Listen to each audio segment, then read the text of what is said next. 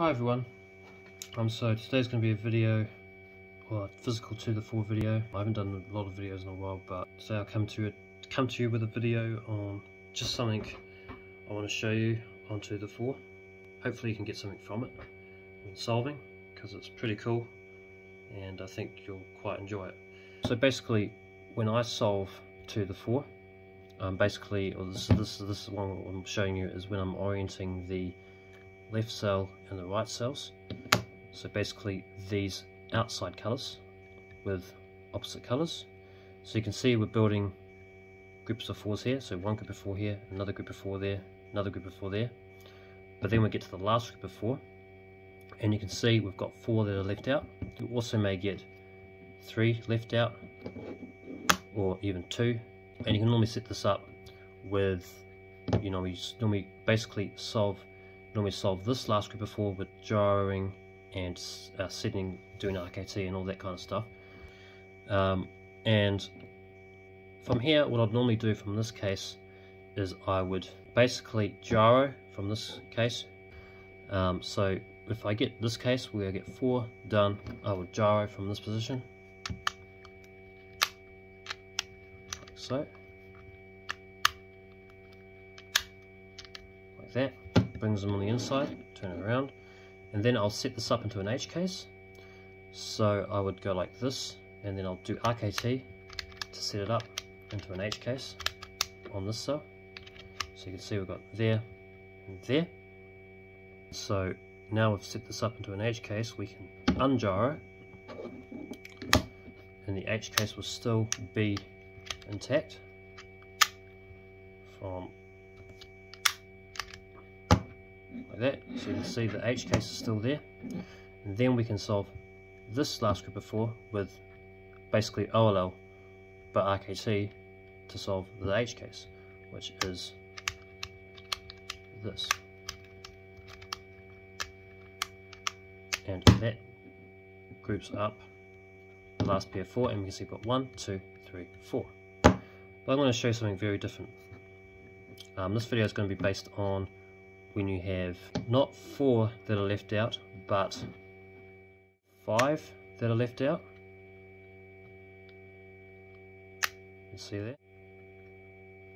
Six that are left out. One, two, three, four, five, six. And or seven that are left out. One, two, three, four, five, six, and seven. So let's say you're solving the puzzle, you have um, this group of four and this group of four ready to go. So you've got this one and this one. And we'll make the third group of four um, with the RKT. So put that in there. Put that in there. There we go. That in there. And there we go. But where is the fourth one? Okay, so um, this is when you get this case. So this is when you have five that are left out. Um, and so this is this normally happens when you sort of miscount. Um, say say you're counting your opposite pairs, and you think there's four, but you you actually miss one, and there's actually five. Normally, from this case, you'd normally go, oh, damn it, can't solve this third group before because this one's out. I have to choose another color.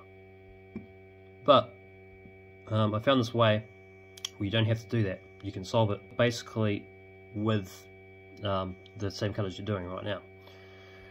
So I'm going to show you how I get past this. So this is when you have five corners left out. And normally, this is normally an odd case. Normally doesn't happen if you always count corners or outside groups of uh, outside opposite colors that is less than four you won't get you, you won't run into this case but this is this is what can happen when you don't do that you miscount and maybe count five I'm also going to show you 6 and 7. You normally don't miscount 7 of course, but I'm just going to show you anyways because it's kind of cool. So I'm going to show you when, this is when 5 that are left out. So this is not 4 but 5, so this one is down here and you can't solve that last third group of 4. When I get this case, um, like I said before, I would, you know, get the last group of 4 with gyroing setting up into an H case, then ungyro, solving the H case with RKT. I'll do that same exact thing for making the third group of four.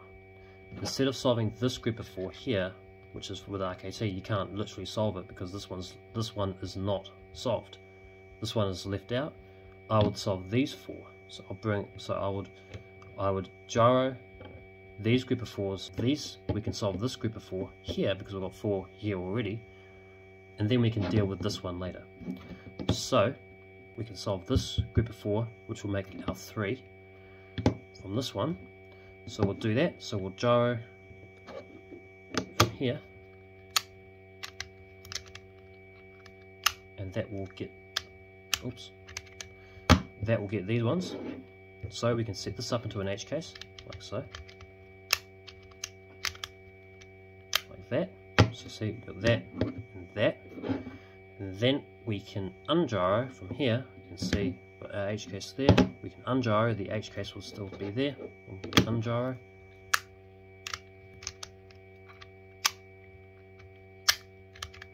Of ungyro, turn it around. You can see we've got the H case still, and we can solve the H case by doing RKT. So we'll do that right now. So we move that into the RKT layer. We do RKT H case, which is that, and bring it out. And that solves that one. So you see how we have this third one solved, or oriented, I should say. So you've got one, two, and three. But you're left with this. So you've got three that are left out, but one that is uh, misoriented. This right here is a monoflip. Um, and this is when the, the actual cube is twisted 180 degrees, so you can see it there, it turns around like that. But I'm going to show you how I can get past this case. If you gyro from this position, you'll get just, it'll just be a never-ending cycle. Because if you gyro from this position, this will go to the inside and 3 will come out. So if we do that right now, you can see that like that, sort of gyroed. You can see three are out, but the one's in. And then we can't really do much. We can't really do much because we can't really set we can't really set any OLL cases to solve this last group before because there's one corner that's left out and there's got to be always one corner that's left out that's always sort of you know out of place so we've got to fix that um, and that's kind of just um, sort of altering different pieces and all that kind of stuff but I'll show you what I, what I do normally. So, I'll just ungyro to show you. So, you can see we're back to where we were before. You can see we've got three done and the fourth one here. Now you can see that this is not really an OLL algorithm. You can't really solve this with RKT because this is not really an algorithm. There's no such thing as one corner that's left out because there's like that does not really happen on 2x2 with one corner that's sort of misplaced and three that are solved. So the way to get past this is that you can see we've got three that are normally we've got three that are normally sort of in the middle here. What you can normally do is you want to alter these pieces here. So you want to basically take so you've got three up here, right? So you want to take these two out. So these basically these ones here and this is normally taken out by the sort of you know the f sexy f prime algorithm which swaps these two pieces. So it's basically that OLL algorithm which will basically you've got headlights on this side and these two are sticking up. It's the same algorithm that will flip these pieces. So you normally do that algorithm to bring two pieces out. And when we've got two pieces out we can have three to work with. And when we have three to work with we can set it up into a Sune case and then once we've got the Sune case we can ungyro then we've still got the Sune case we can solve the Sune with RKT and that will solve the last group of four. And that's how I'll do it. So what I'll normally do here is I'll just go go through it pretty slowly. So we can take out two. It can be these two or these two. So I normally hold it like this. So this one this misoriented corner is on the back. These two and these two are like this and I'll do the F sexy F prime by RKT. So I'll move this into the RKT layer and I'll do F sexy F prime. So F sexy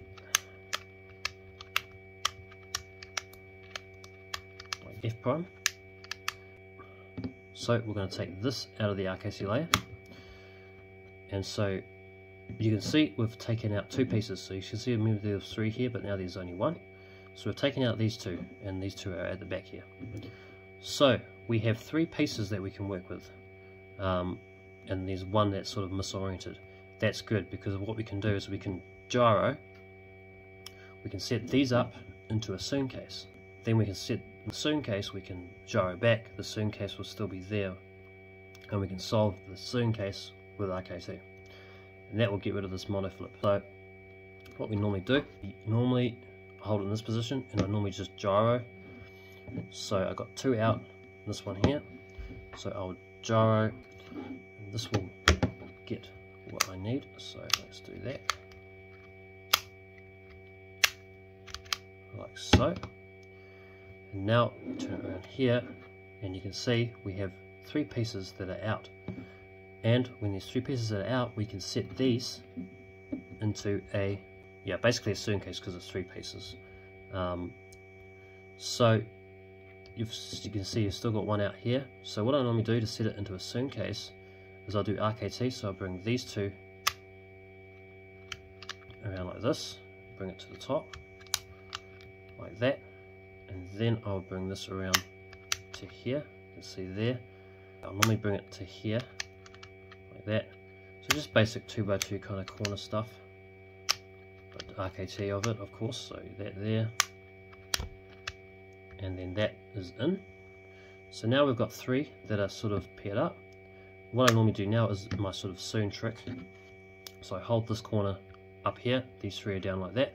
I go R prime, Y prime, R prime, Y prime, R prime, Y prime, and R prime. So this has set this these three pieces up into a nice Sune. So one, two, three. Now that mono flip is gone because when we gyro back, this will be a normal oh, OLL case. So we can gyro back from this position. So we'll do that. So gyro from here, like so. Turn around. Now we still have that Sune. And now it's an anti-Sune of now, of course. So it's an anti-Sune. Yeah, we solve this anti-Sune with RKT anti-Sune. And this will solve this last group of four and that will solve all these group of fours will be oriented. So let's do it. So we can do RKT anti-Sune, so bring that into the RKT layer, and we can go R, U2, R prime, U, R, R, U prime, R prime. Okay, that's done. We take that out, and we have got the of four there, and we've got one, two, three, and 4. So that's how I would go about doing that. So let me show you now when 6 that are misplaced. Alright, so let's you've got these two ready to go. So you got this group of 4 and this group of 4 here. Now, okay, so let's group the third group of 4. So, do that with Dark RKT. And where are the other pieces? Oh, they're on the outside. So there are six pieces that are on the outside. How do we get past this? I might have miscounted. So, same thing as what we'll do is when I get six that are out, like so, I would solve this group of four as normal, like, you know, gyro, H case, ungyro, solve the H case with RKT, and solve these four here. So I'll do that. And you can see we've got this one here, but then this one can't form because you've got these two that are out. So we've got to do the H case of, um, so we've got to do the gyro from here, which will get these into, um, so I can set them up into the H case like what I normally do. So we have four there, and then we can set this up into an H case, like so, like that bring it there, so there and there, and then we can gyro again.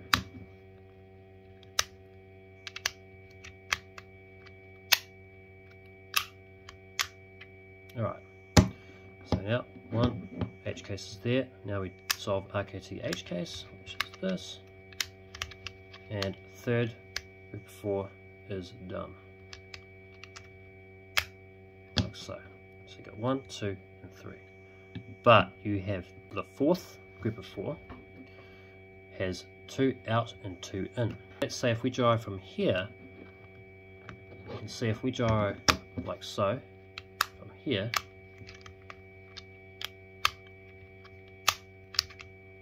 Alright, you can see two are out two in.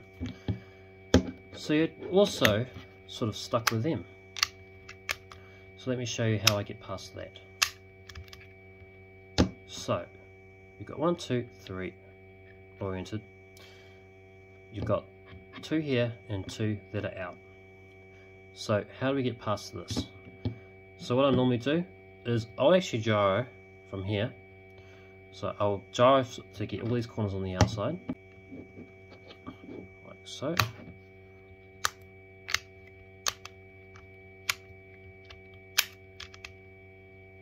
Alright, so you can see we've gyroed and we have two in, two out. Um, so what I normally do here is this, I mean, you could get six and they could be all in different positions, but this is just this position. So you might get you might gyro and you might have something like this and go oh okay um, how do we get past this? And normally what I'll do is I'll just I'll normally just always bring them together. So this one here just needs to go there. So I'll RKT this to here. So I go like that. Now it's there. And go like that. And now it's there. And once it's there I normally just hold it like this. So it's like an H case, but there's only one. But these two, I mean, are not really H case. This is just this one. And so once I've got that, I can kind of just to gyro, and that will still be there. Um, so we can do that.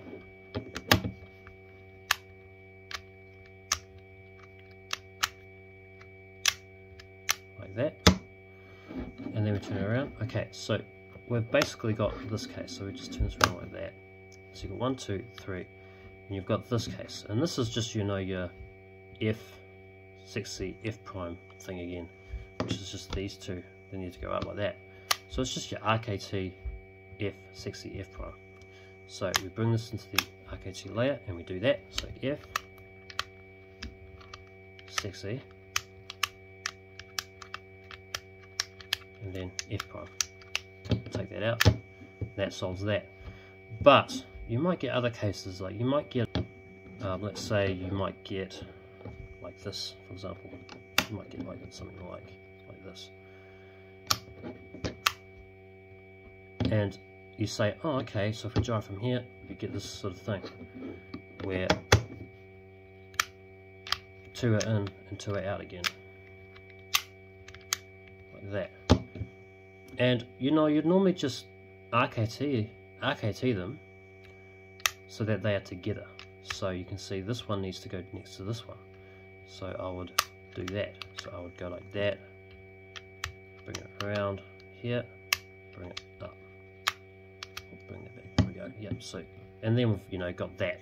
And then we can just gyro from there. So it's not really, this one's not really too difficult. So you got this, which is just your F sexy F prime sort of algorithm, which will solve those two. So you'll do that, but RKT, of course, and bring that out. Yeah. So that's how you just get past that. Six is pretty simple. Um, but let me show you one more. So let's say you've got these two ready to go and you're just left with this. This whole cube is like literally all the corners on the outside except one. So this is when 7. Um, you normally don't miscount 7. I mean, yeah, you normally don't miscount 7. But let me just show you what I do when there's 7 that are misplaced. So what I normally do from this case, right, so we can basically solve for like normal, you know, gyro, H case, ungyro, solve H case with RKT. So I'll normally do that from here so here and this is this is my third one here which is not clearly paired up of course but um, we can do that. So we can just gyro to solve this one here. So we'll gyro solve this as an H case. So we bring it around twist it that that that so we can ungyro. So here. Um, there there. We can RKT H case. That's what you're supposed to do okay? So now we've got that done. Bring that out. And we're left with three. So we've got this one done this one done this one done. So yeah this case is not really that bad um, because what you can do is you can just gyro and you have three that are already out. So then you can set them up into like a or whatever. So what you could do is you can just gyro from here. You can see that one two three and then these three and then this one. So normally just you can just gyro from here. Like that. Just like so. And you can kind of see you can just set this up into a Sune. So you can just move it down y prime r prime y prime r prime y prime r prime that's done. You can see we have one two three into a Sune. Then we can just on that side do a gyro. Oops. twist it around and you can see what the anti-Sune. So we can solve the anti-Sune with RKT do anti-Sune RKT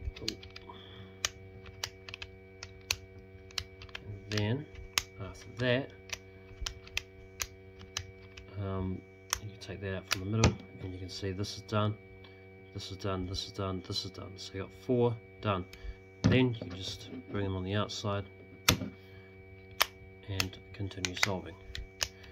So that's what I normally do with pieces that I miscount um, there's more than four accidentally but there's ways to get around it it's pretty cool um, something I sort of found out myself. So you normally just solve from these, you've oriented these two cells with white and yellow.